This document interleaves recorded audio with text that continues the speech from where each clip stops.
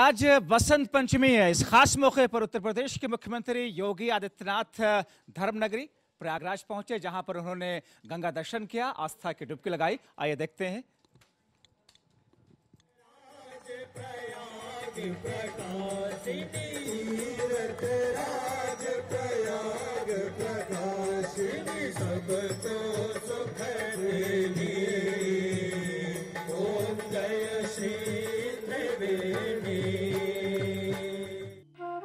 पूरे देश में बसंत पंचमी का त्योहार धूमधाम से मनाया जा रहा है।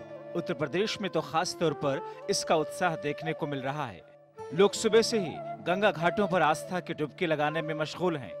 उत्तर प्रदेश के मुख्यमंत्री योगी आदित्यनाथ ने इस खास मौके पर धर्मनगरी प्रयागराज पहुंचकर आरती किया, गंगा दर्शन किया और आस्था की डुबकी लगाई।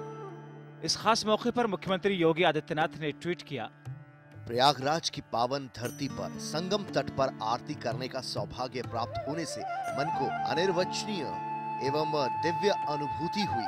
माँ गंगा से प्रार्थना है कि वो सभी को अपने वात्सल्य और आशीर्वाद से सिंचित कर समृद्धि प्रदान करे। जय गंगा मैया। इस बीच गंगा यात्रा पर सवाल उठाने वाले राजनेताओं पर भी मुख्यमंत्री योगी आदित्यनाथ ने पलटवार किया।